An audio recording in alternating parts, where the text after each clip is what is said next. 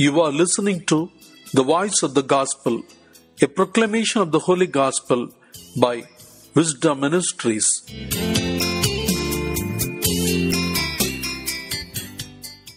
January 21st, Thursday. Let's begin this day with the blessings of God. A reading from the Holy Gospel according to St. Mark chapter 3, verses 7 to 12. Jesus departed with his disciples to the sea, and a great multitude from Galilee followed him. Hearing all that he was doing, they came to him in great numbers from Judea, Jerusalem, Idumea beyond the Jordan, and the region around the Tyre and Sidon.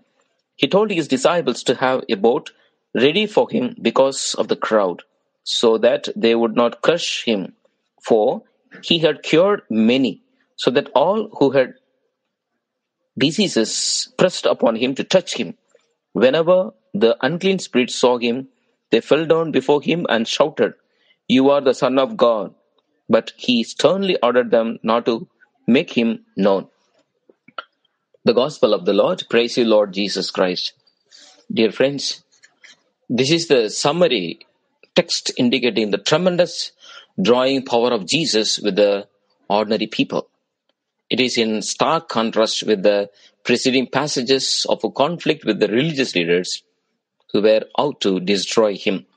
People were coming not only from Galilee, Jesus, where was living and working, but from Jerusalem, Judea in south, from across the river Jordan, even the Gentile regions.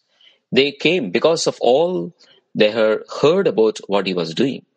So great were the crowds that Jesus had to ask his disciples to get a boat so that he would not be crushed. Huge numbers of people who had heard of his healing powers wanted to touch him. They felt that was enough to be healed. Some possessed by evil spirits fell down before him and called out, You are the Son of God. See, even the evil spirits know very well about Jesus Christ. Jesus warned them to keep silent. As mentioned before, this call was not a confession of faith, but an attempt to turn aside the tre- threatening power of Jesus by using the exact name of uh, the opposing spirit. Jesus knew that people were not ready for this revelation of his identity. Their attitudes were still largely superficial. They were coming for their own very immediate needs, not as true followers. They want to be healed. They came to get, not to give or share.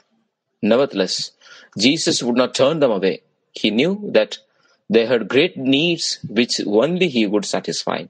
He was full of compassion for them and anxious to bring healing into their lives. Amen. May God bless us.